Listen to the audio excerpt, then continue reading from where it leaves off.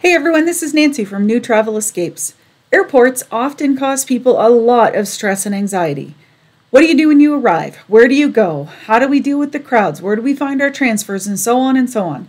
Today, we are hoping to alleviate some of your anxiety and walk you through how to navigate the Montego Bay Airport in Jamaica so you can get to your resort with a red stripe in hand with less stress and as quickly as possible.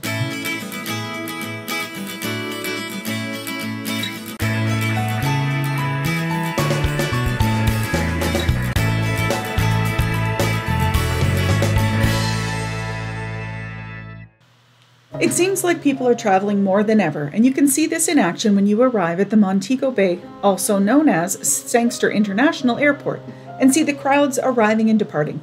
Jamaica is a pretty special island, and it is no wonder that it has become a popular vacation destination over the past 20 years.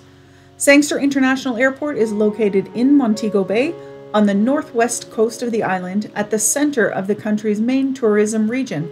So the chances are, if you're visiting Jamaica for a vacation, you'll be landing at Sangster International.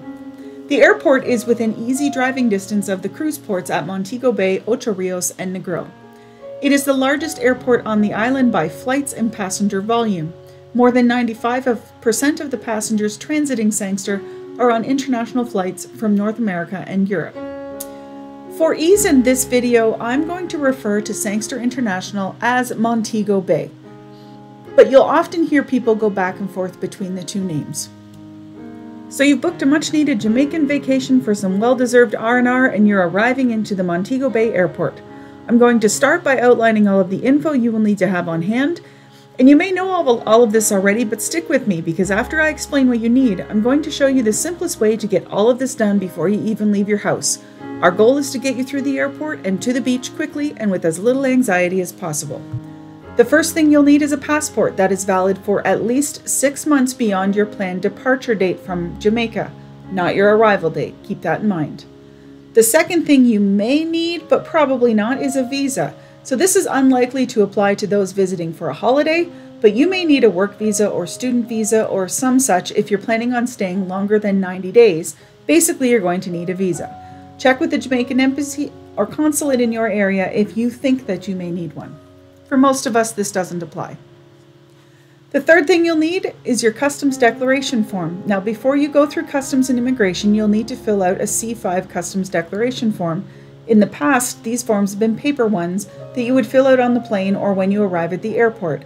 There's a better way, and I'll walk you through what this is further into the video.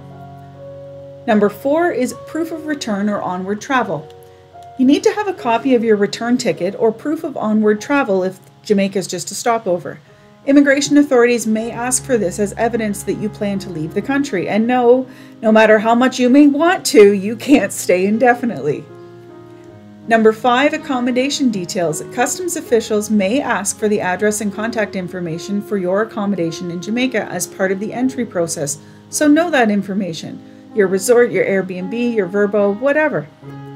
The sixth thing is a vaccination certificate, and it may or may not be required, and we all know what's happened with the world, so who knows? Depending on your travel history and the current health regulations, you may need to provide a vaccine certificate for certain diseases.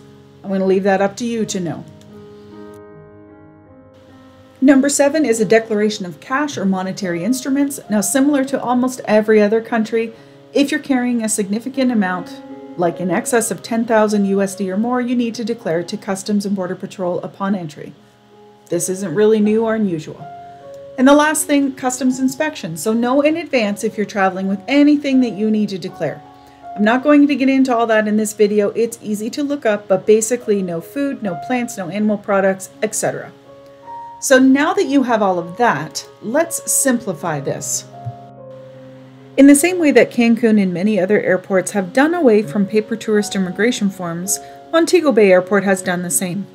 Before you arrive, you should receive some information from your airline and it will lead you to the link to fill out the C5 forms. C5 forms are the Jamaican Tourist Immigration Forms. I'll show you how we got them from the airline app on my phone. It was easy and streamlined and as you can see, all the links to the forms were right here.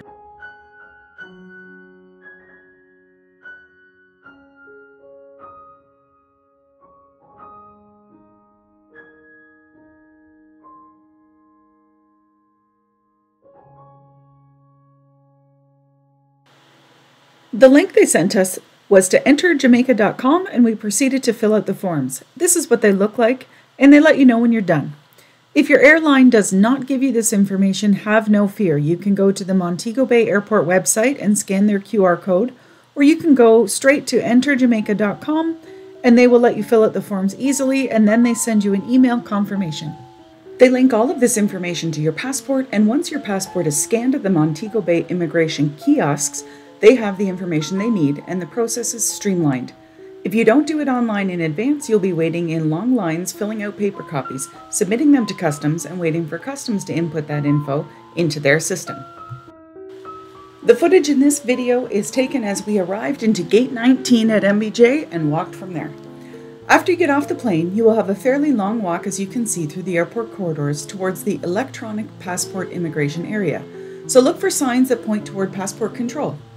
If you filled out your C5 forms in advance, then you can get into a separate line from those who didn't know or have forgotten and they have to do a paper copy, but they're starting to eliminate all paper copies, so have it done online before arrival. Just keep that in mind. FYI, there are washrooms that you get close towards the end of the corridor before passport control, and if you're concerned that someone in your party may need to use the facilities before waiting in line, this is the time. I may have missed it, but I didn't see any potable water refill stations anywhere. So if you're going to need drinking water for yourself or your kids, I would suggest having the flight attendant fill up your water bottle before you leave the plane. Maybe they're there, but I didn't see any.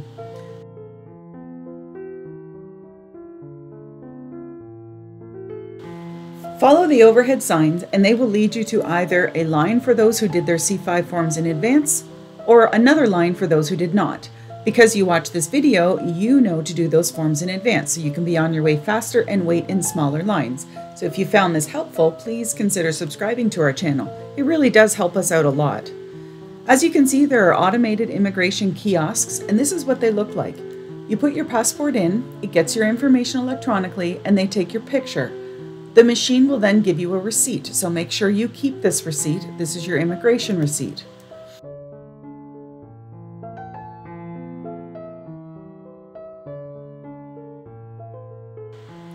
Once you get your receipt from the immigration kiosk, you walk past the duty free shops and on towards the baggage claim area. Again, the overhead signs are very clearly marked. If you've decided to fly carry on only and you're in need of sunscreen or some other liquid essentials, you'll be able to pick some up at the duty free, but be forewarned, it is expensive here. If you're traveling as a family with a lot of luggage, the baggage carts are free to use in the baggage area. Montego Bay Airport has dedicated baggage carousels, which I think they call baggage belts, for each flight, and the display screens are clearly marked so it's easy to locate your flight's assigned carousel.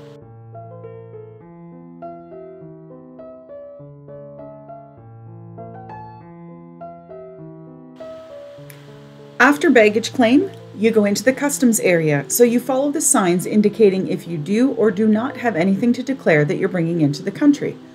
Once you get through immigration and then customs, then you walk out into the transportation area.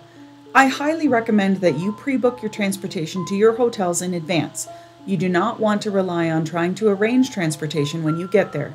We are currently working on a video about the five best transfer companies from Montego Bay, so hit the notification bell so you don't miss that one. Whichever transfer company you decide to use, they should tell you in advance which number desk to go to and what color their shirts are. I will put the different transfer company names and desk numbers on the screen if you need them. You can also see if you booked a package vacation with included transfers, this list will also tell you what company your travel provider is using. For example, if you book through Cheap Caribbean or Southwest Vacations, you can see that they use Amstar as their transfer company. But if you do decide to sort out your transportation when you arrive, you can follow the signs towards ground transportation and find a taxi stand.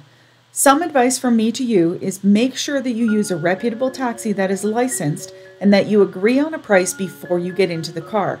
There are two licensed taxi companies operating at Montego Bay Airport, and they are Juta and JCal. We booked our transfers with Seasons Transfers, and they told us in advance that they're located at desk 16 and they wear green t shirts, so they were easy to find. Your transfer company will lead you outside and take you to your driver. If you've ever been through the Cancun airport, you should know that Jamaica is slower and more laid back in comparison. We did not find any area in the Montego Bay airport where the timeshare people hassle you like they do in Cancun. If you're waiting for friends to arrive on a different flight, there's a Margaritaville or the Jamaican Bobsled Cafe that are both good options to grab a meal and a drink while you wait. We were staying at Excellence Oyster Bay for this trip, which is located between Falmouth and Florence Hall Village, because we did as much as possible in advance from the time we landed until we arrived at our hotel, it was only about an hour and a half. It was not prime season, but that gives you an idea of how quickly you can get through if you do things online in advance. So let's recap quickly into five simple steps. 1. Disembark the plane and begin to follow the signs towards the arrivals area. 2. Your first stop is immigration. Get out your passport and you can use the electronic immigration kiosks if you use the link I showed you, or you can fill out paper immigration and customs forms. Number three, after you clear immigration, you proceed to the baggage claim area to collect your luggage if you need to. If you flew carry on, then keep on walking to customs. After collecting your luggage, you may move on to customs and prepare to declare any items required by Jamaican regulations. And number five, lastly, you go into the arrivals hall, find your pre booked transportation desk. Their representative will lead you out to your driver and your vehicle. And as you exit the airport, take a deep breath, soak in the warm Jamaican air. You are through the airport and on to your chosen destination. Thank you so much for joining us as we try and help you get through the Montego Bay Airport with as little stress as possible. We hope these steps make it easy for you and that you've gotten some valuable tips. Please consider subscribing to our channel. It really helps us out a lot and it is, allows us to keep making videos like this. We hope these detailed steps make your arrival and transition to your resort as smooth as possible. We have an in-depth review coming up about our stay at Excellence Oyster Bay, and we will tell you all how it compares to its Mexican counterparts. We never ever tell the resorts we make videos about our experiences, and we always strive to bring you an authentic review so you get a good idea of what to expect and if it's something you want to spend your hard earned vacation dollars on. Until next time, safe travels, and may your time in Jamaica be filled with unforgettable memories and everything is Irie.